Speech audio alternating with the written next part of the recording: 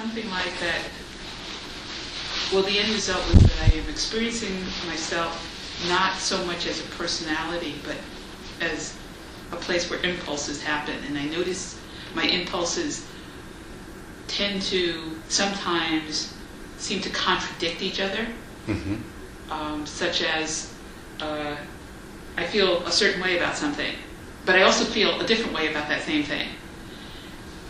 And um, one, you know, in a way that is so recognizable, even though I'd never thought of it this way, quite this way before. It is so how I am. And in some ways, it's a little terrifying, and in some ways, it's like, yeah, so what else is new? You know, what's the problem? I've always been this way. And it seems like something that I have thought shows there's something wrong with me. That, you know, if somebody says, What's your favorite color? You're supposed to have one. You're supposed to say green or, or blue. And, and, and I've always been like, It's green. But then the next person will ask me, it, It's brown. And it seems like that's supposed to be a problem, this, that I'm supposed to be consistent. And I was seeing all this week that, well, but I'm not consistent. Mhm. And, uh, but I keep thinking, well, but I'm, aren't I supposed to be? and it, it, but that seems like such a, a stupid question because, but well, whether I'm supposed to be or not, I'm, I'm not consistent. And I've been noticing that my lack of consistency, well, I've been thinking of that consistency equates to a personality, and that I kind of don't have that. And I'm thinking, is this this Buddhist no self thing? Uh, so I'm having a whole lot of thoughts about it, and mostly it feels like, oh, this is this is good, this is fine. So that's what's been part of what's been going on. Well, that yeah, that's that's very good. That's yeah. Certainly, you know, I I, I know it, it's the way people are. It's the way we are. Both that we we don't have that kind of consistency, and yet we want everyone else to. You know, we want each other person to have a favorite color because it sort of simplifies them. Oh, you know, person A likes green, and person B, B, their favorite color is, is brown. So uh, this is all part of the whole process of uh, we create an idea in our mind of who person A is and who, who person B is, and um, and of course that's also what we're doing for ourselves in our own mind is, Yeah. uh, is, is we have a sense of being a self, and so we feel like that self should have, you know, pretty clear-cut set of identifiable characteristics, you know. And sometimes we, we, we push that and, and we find, and then we, we really discover it's not true, you know. Yeah. yeah, because the, the personality, I mean, it, it, it's a construct, but it's more than just that it's a construct. It's a dynamic, constantly changing construct. Yeah. and uh, not just your favorite. Your favorite color is probably situational dependent, mood dependent. You know, it depends on a variety of things. And, and, and if you're if you're talking about favorite color in terms of you know painting the outside of a house, is probably a quite different thing than favorite color in terms of you know a, a, a shirt. Yeah. right. So it uh, and and of course depends on the time of the year and, uh, and all kinds of other things that, that affect that. So, yeah, the idea, the, the, the notion that we would have that kind of consistency isn't, isn't realistic. Our, our, the constituents of our personality are constantly shifting and changing due to all kinds of things. And so, So in a sense, there is no personality. I mean, there's Well, not there- a stuck there- thing as a person. Yeah, there, there's a, a personality in the sense that that uh, there's there's a collection of attributes that you have today, and there is some degree of consistency of some some of those attributes over the course of a few days or a few weeks or, or so forth. but whether it's longer or shorter, still every one of these is is uh, it's a construct and it's a dynamically changing construct, and it's it's subject to being uh, radically altered at any moment by some new causal uh force that uh, that becomes a part of the equation. Good evening. So yeah, ex- exactly. You know the the whole idea of, uh, of this is, you know, and that's what the, the uh, uh, no self or, or anatta, an atman, the the atman that's being uh, uh, denied is supposed to be something that's permanent, stable, self-existent. And then the philosophers all get into that. Well, if something's self-existent, then this has to be true of it, and that has to be true, and it leads to a lot of logical absurdities, you know. Yeah. um, and so, in, in, in one way or another, philosophically, you conclude conclude that the idea of an atman, a permanent, abiding, unchanging self, is uh, a nonsensical impossibility. But far more useful and practical is realizing that, you know, as, as, as you are, that the, the personality construct that, that you are is, is the furthest thing from being permanent and, and unchanging. It's constantly changing. And as a matter of fact, that's wonderful because that means that if the personal construct that uh, is in operation right now is not a very happy one, you could change that. Yeah. That's very good.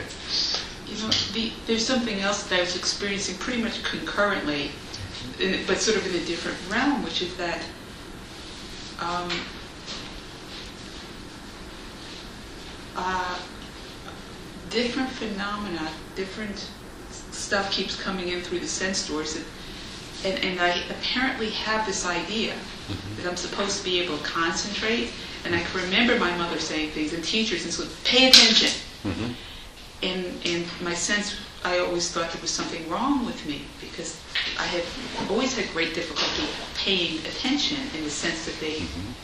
So that I, it's almost an addictive thing with me with certain experiences, uh, like television. Yeah. Where I don't allow myself to watch television anymore because it got almost addictive, or mm-hmm. I should probably say it was addictive, because I so want to have my mind be steady. Um, mm-hmm. and, and that I've always felt like that it's that it bounce around so much. There's something wrong. Um, but I've been noticing a lot this week that my mind bounces around a tremendous amount and that I'm quite uncomfortable with that. It's, it's really, while I can't see what's unpleasant about it, what comes up is unpleasantness. Like nothing seems inherently unpleasant about it, and yet it feels quite uncomfortable when I'm noticing it. Well, you know, continue continue with the kind of investigation that you, you have started here. Um, you're, you're, looking at the personality as a construct, and uh, you need to understand the mind. You, you, see, what was happening before is you were looking at the personality. Uh, that your view of it was was not correct, and so uh, you look at it and you'd say, "It seems like there's something wrong with me," right? Yeah. But there wasn't. What was what was wrong was this uh, view of what a personality was supposed to be. And the same thing is true.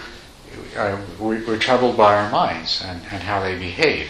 But the reason that we're troubled by them uh, is because we, we're not understanding them, we're not seeing them for what they really are. Your mind is a collection of many different processes. thousands, I'm sure, at least, of different processes, sort of hierarchically arranged. And uh, one one thing that you can distinguish about your mind is is that it really consists of many separate minds. If you look at it functionally, there is sort of a, a, you, you, can divide your mind up in terms of of the uh, sensory domains, the cognitive domains. There's six of those if we include the mind as a sense organ of thoughts and memories and emotions and so forth as a kind of sense object. Each, each mind associated with each one of those sensory domains functions autonomously of the others. It has its role to play, and they interact. So, uh, and, and I, I think a very good example of this is if you've ever been driving a car and you've either been thinking about something and very lost in thought, or else you're you've got a passenger who you're having a very intense, engaging conversation with. If you reflect on what happens in that situation, uh, well, well, first of all, I'm, I'm talking about the kind of situation where you might have driven, you know, a mile across the city and have absolutely no conscious awareness of it because you were totally, so totally engaged in something else. There is a part of your mind associated with vision that was constantly looking in the rear view mirror, the side view mirror, the cars either side, cars in front, judging the shifts in the traffic, seeing traffic lights go change one color to another, brake lights come on and off, turn signals. And in response to that mind, without any involvement of conscious awareness and no involvement of conscious intention, just following the well developed programs that are established there, was uh, using greater or lesser pressure on the gas pedal, turning the steering wheel, using the brake. And, and it, there, there was no need for conscious awareness to be involved in that or conscious intention. It was just all programs that you trained yourself. There was a time when you learned to drive, uh, and in the early period when you were driving a car, where you were very conscious of everything, and uh, and you had to be, otherwise it would have been disastrous. But now, as a mature, experienced driver, you can have a conversation with somebody, drive all across town stop and start at all the right times and, and, and avoid accidents and everything else, but no conscious awareness involved at all. Okay. In addition to that, every time you uh, increase or decrease your speed, or you turned a corner or anything like that, there was another area that uh, the, the, your body sensations detected how rapidly you were accelerating or decelerating or turning and so forth and adjusted the, the amount you were turning the steering wheel or the pressure on the brake or the gas or so forth to make it appropriate. So in, in essence, you see what I'm saying? We have three, we, we can identify in that situation in three separate minds. One is this thinking, talking mind is hearing this conversation, hearing what the pastor, what your, your friend says, and thinking about your response and saying it and everything. A completely separate mind is looking through the windshield and in the mirrors and everything and producing appropriate reactions, responses. And yet a third mind is assisting that by judging whether you're, you're speeding up too fast or braking too fast or turning too sharply or so on and so forth. Well, this uh, the only reason that I took the time to explain this is your mind consists of all these different processes.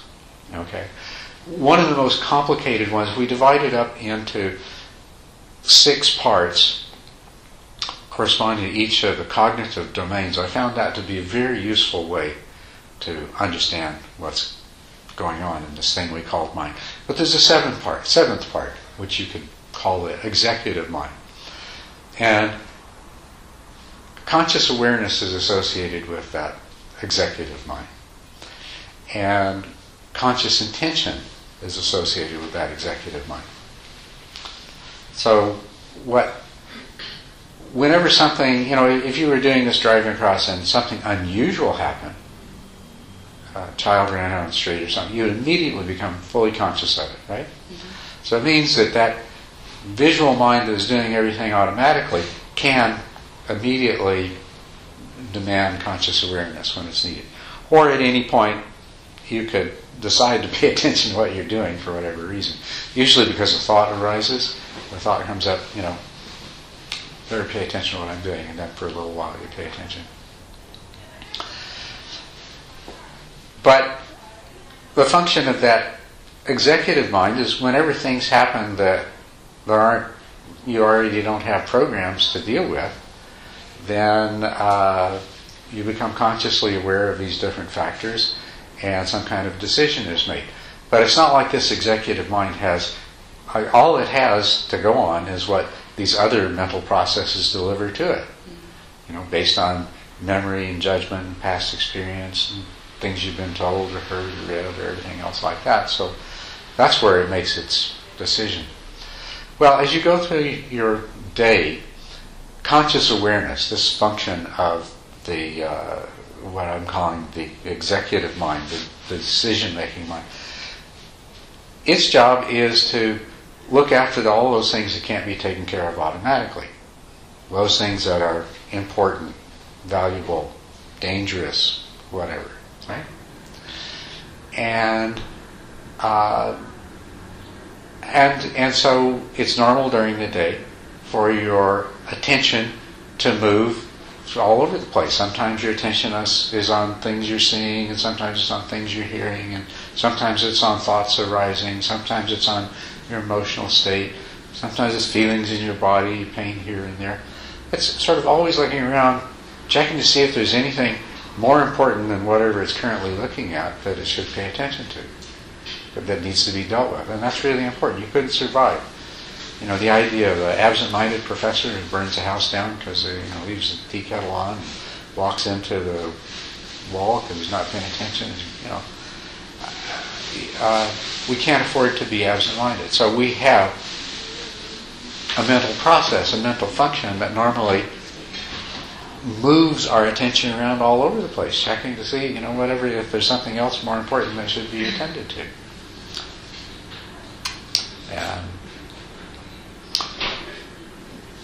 And it will rest and stay on whatever is important. If you notice that there happens to be a saber-toothed tiger stalking you, you'll probably you, the attention won't shift. It'll stay on the stalker for a while, right? Probably long enough to figure out an appropriate action.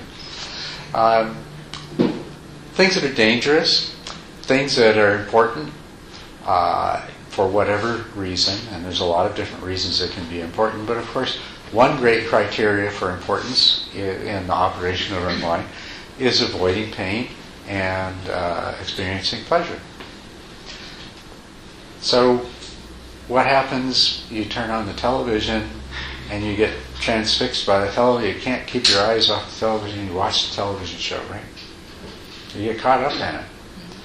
Well, somehow or another, it's producing a certain sense of pleasure. Maybe it's triggering a lot of associations that if what you're seeing was actually happening to you, it would be important and needing attending to. So sure enough, that's where your attention stays. Your attention's caught by that.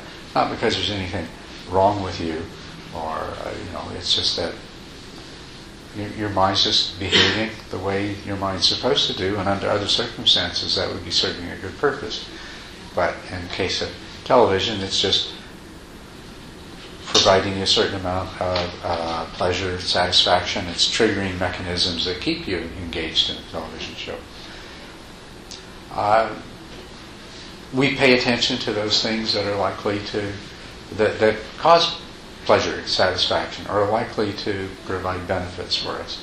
And we pay attention for longer periods of time to things that are potentially troublesome or dangerous, harmful, pain producing, and so forth. When you sit down to meditate, your mind's going to do all the same thing. Okay, let's watch the sensations of breath. So, oh yeah, that's interesting. Uh, but now we've done that. Let's go check. Might be something else. Your mind naturally goes around. Well, you can change. You can train your mind not to do that within this context. You get up from meditating, and once again, your mind keeps checking around everything, so keeping track of what might need to be attended to. but you can train your mind so that every time you sit down, there's another mental process that you've cultivated which inhibits that mental process that normally drifts your attention around. And that's what you're doing when you're sitting down to meditate.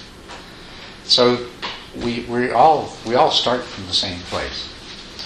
And we have the same kinds of minds carrying out the same kinds of functions. And we have to to make some profound alteration in the way your mind behaves. Um, it involves some retraining.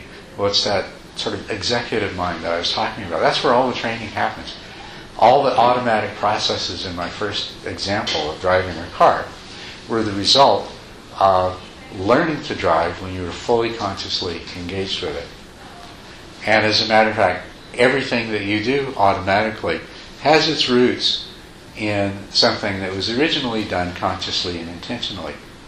So we can say, yeah, and that's why we can say, for example, if you manifest a personality tendency of becoming irritated and impatient, um, it has its roots in times when irritation and impatience as a possibility, sort of an in, something that's innately in us, arose in situations. And we actually made a decision to uh, to indulge in that mental state, or it made us feel uh, stronger or better or whatever. So we conditioned ourselves to do that, and so then we like that more and more often. To become a caring person uh, requires instances where you deliberately and consciously choose to be a caring person. And then you alter your mind so that you become a caring person. You become a meditator with good concentration, or you become a person who is uh, uh, a caring, compassionate person by consciously and deliberately conditioning your mind. And there's better ways to do it, better and more effective ways to do it, and there's less effective ways to do it. And talking about meditation, uh, you sit down to practice, and your mind does what it's supposed to do. In that there is a mental process whose job is to shift the attention around to make sure there's not something more important you should be attending to do to. And after three or four breaths, when that's not interesting anymore, that mental process starts shifting the attention around. Now, if you feel if you feel angry and annoyed that this has happened, it's not going to help very much. Because this mechanism, you're, you're not going to quench the activity of a mental process that you were born with that has allowed you to survive throughout all the days of your life, you know, by suppressing it in that way. Instead, what you do is you just keep bringing your attention back, bringing your attention back. And so what you're doing is retraining the mental process that has to do with, with moving attention so that even though when it moves the attention around, it keeps bringing it back. So you, what you'll have then is the early meditator's experience of, of, of the mind, you know, going here, there, but, you know, you keep bringing it back. But you try to use positive reinforcement of the new behavior rather than negative reinforcement of what's essentially uh, a, a, behavior that, that you can't and couldn't even if you wanted to uh, stop. The same thing with when whenever your mind finds something that does seem important, stays on it long enough, you completely forget the meditation object. Right? And then, having forgotten it, when your mind gets tired of whatever that thing is, uh, by associ- association, maybe that will trigger another thought, and it'll go to that and another one. So you'll experience forgetting and mind wandering. Those processes, the, the mental processes that are causing that to occur, are, are really normal and healthy. All you want to do is to is to uh, cultivate new processes that bring about a different result. So when you become aware that your mind, that you've forgotten the meditation object and your mind is wandering, you want to reinforce positively that awareness. And if you positively reinforce that, then it will happen more often and more easily. then likewise, you know, when you come when you bring your attention back to the meditation object, every single time you bring your attention back to the meditation object, you're, you're training a mental process to perform a task in that in the context of the situation of meditation. And it will eventually, when you know you've repeated it enough times, it'll become completely automatic, and you won't need any effort anymore. Same thing with that awareness that whenever the mind has moved away from the meditation object, that'll become automatic and instantaneous until you'll be become aware of it even before the mind moves away. So anyway, the, to go back to the, point of, uh, most of you weren't even here when I started this discussion, but when you look at your mind and you're baffled by its behavior and its seeming uncontrollability and its, its uh, uh, seemingly inner conflict, you know, I want to do this, but I don't want to do it at the same time, and, you know, all these sorts of things.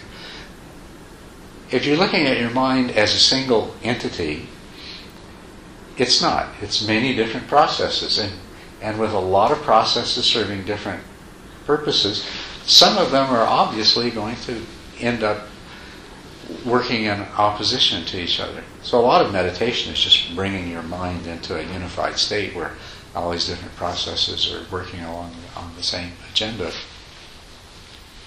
The other thing is if you look at your mind as mind, then you're going to experience a lot of frustration because you don't have any control over your mind. As a matter of fact, the you that you would like to have control over your mind is an illusion. Doesn't even exist. There's these different parts of the mind. There is the the conscious awareness, which more closely than anything else we tend to identify with as as, as me, the I and then there is conscious intention that arises out of that, what I refer to as the executive mind. That part of your mind that it just takes the information and opinions of the other parts of the mind and makes decisions about them and says, okay, this is where we're going to, this is what we're going to do.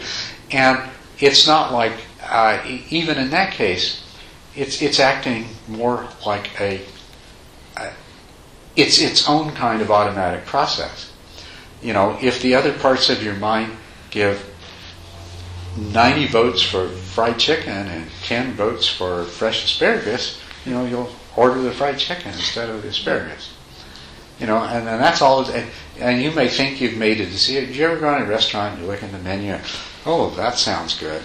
You know, oh, but it's a lot of money. And, well, this I, I could afford this more. It doesn't sound quite as good. So you've got all these different things. You've got one part of your mind, all it's concerned about is, you know, how much are we going to pay? Another part of your mind say, oh, that sounds good. Oh, but I had that before and it didn't turn out that well, so maybe it won't be.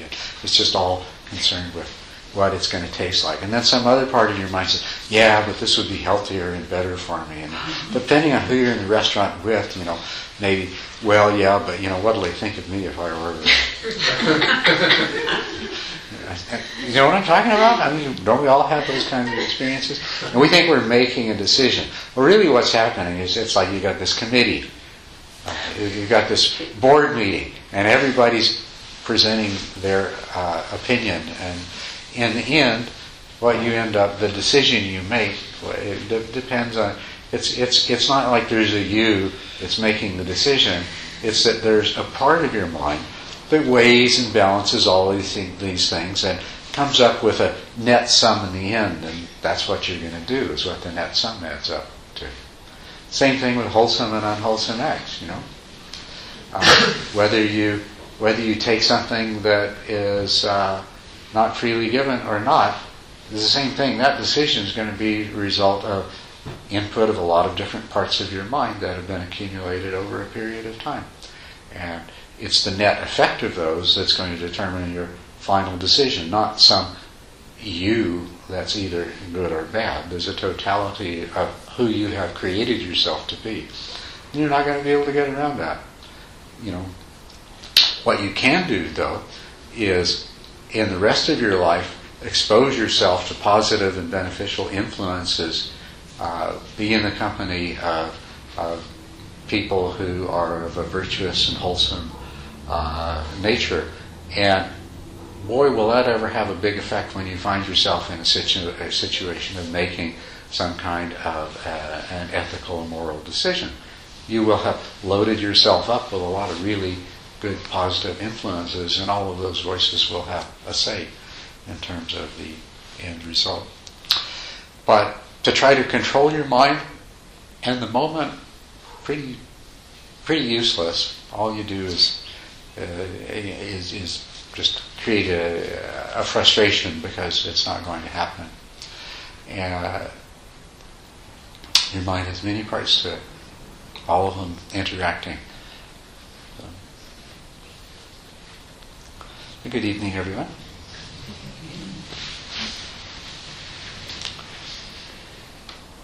So, I think it's time for us to begin our sit.